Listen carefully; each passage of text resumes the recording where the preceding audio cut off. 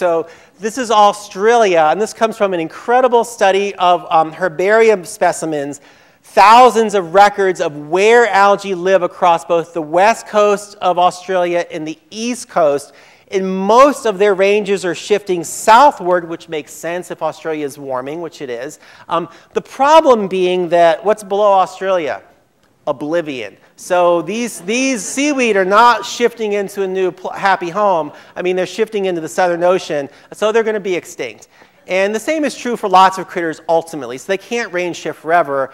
Corals have been moving from the Keys. They're now off Fort Lauderdale. Even Jupiter, where I grew up, Jupiter Tequesta, Florida, um, we're seeing corals that haven't been there in thousands of years. And they'll range shift up to, you know, a little bit farther north, um, Hobe Sound, Jacksonville maybe. They're not coming to North Carolina, even if the, it gets warm enough, because we have no appropriate substrate. There's no hard substrate and 10, 20 feet of water out there. We have big rivers that dump a lot of muddy sediment onto the reefs. So it's an inappropriate habitat habitat in other ways, even though the temperature will be just fine for them here in 50, 80 years.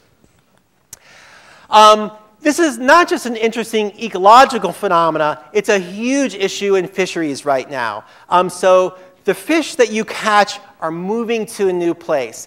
Um, this is a, a, study that came out in 2013 and um, so let's just look at lobster. The, this is lobster right here, and these green dots are essentially where the population was at each year. And oh, they started out here, and they're essentially moving here. So the lobster populations are moving north.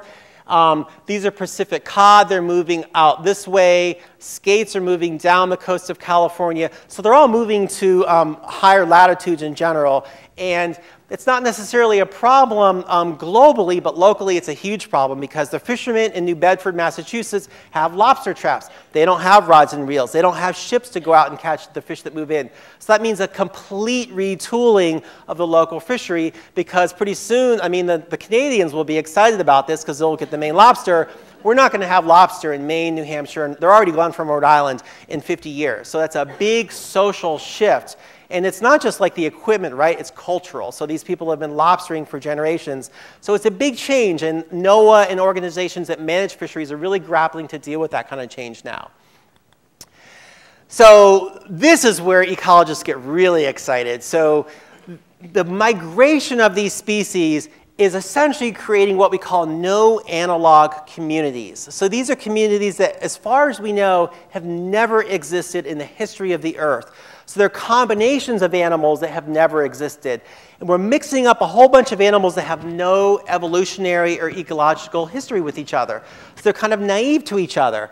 And you know, species interactions are generally well-tuned, you know, over evolutionary history. Prey respond to their predators by evolving defenses to reduce predation. Predators then respond to the prey with new, new strategies to catch them. You know, it's a kind of finely tuned, slow, uh, sl slow-paced arms race. Um, but when we mix a bunch of stuff together, we don't know what's going to happen. And so that's what we're doing, this natural experiment. This is Antarctica. It's an incredibly unique place. So the continental shelf around Antarctica, going from shallow water, you know, 10 to 50 feet, down to hundreds of meters, is incredibly unique. It's been essentially predator-free for, we think, 30 to 50 million years. So a long, long time. Because the water is too cold for the metabolism of predators that we call them bone-crushing predators, so things like fish, um, cra crabs, um, skates, rays, sharks, none of these things exist in the ocean in Antarctica. Um, so all the prey are just, they didn't have to evolve defenses. They're enormous. This is an amphipod. Isn't that creepy? It's the size of your hands. We have amphipods here in North Carolina. They're like five millimeters long because they're hiding amongst seagrass from their, their predators.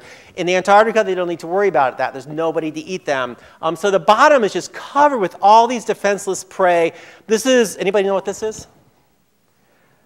Sea spider, it's a pycnogonid. We have these in North Carolina. They're all over the docks in Beaufort. You pick up some seaweed, you shake it out. There's all these cute little sea spiders. Um, in Antarctica, they're this big, and they're just kind of like lumbering along the seafloor because there's no problem, there's no threat. Um, that is all going to change in our lifetimes. It's changing really quickly. So the warming of the waters around Antarctica, um, this is the only predator they have to deal with, the starfish, which is kind of a scary thing, but it's pretty slow moving. This is what's coming. Big, giant spider crabs. You know those things you see from Deadliest Catch? Those are invading the Antarctica continental shelf simply because of warming. And if it warms by another half degree Celsius, boom, they'll zip up there, as will sharks, rays, fishes. Um, and the whole system will change, obviously. This is, a, again, a unique system um, going back millions of years, and we'll lose that. And it's essentially a change in function, in process, in composition, and structure. And it's interesting to me as a scientist but it's obviously problematic for a whole variety of reasons.